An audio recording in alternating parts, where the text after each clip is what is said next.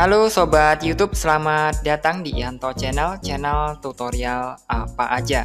Nah Sobat YouTube, pada kesempatan video kali ini kita akan mengcopy data vertikal atau data tegak lurus di sini. Kemudian kita akan pindahkan menjadi horizontal sob ya di tabel ini atau secara mendatar. Nah, di sini saya sudah memiliki data yang cukup sederhana banget. Nanti tinggal sobat sesuaikan saja dengan kondisi data yang dimiliki sobat masing-masing ya. Langkah-langkahnya di sini saya akan mengcopy terlebih dahulu ya, copy seperti biasa seperti ini, copy kemudian sobat tempatkan kursornya di tabel yang horizontalnya sob ya. Kemudian sobat bisa pilih paste yang ada di sini dan sobat pilih paste spesial sob ya.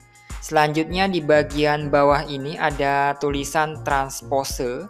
Sobat klik centang saja kemudian pilih OK. Nah, hasilnya sudah dipindahkan secara horizontal, sob. Jadi dari vertikal tadi kemudian diubah ke menjadi horizontal seperti ini. Hasilnya bisa sobat lihat. Nah, seperti ini, sob ya. E, nama-namanya sudah dipindahkan semuanya. Ini saya kecilkan sekali ya. Ini cukup mudah banget tinggal copy dan pilih transpose tadi sob ya.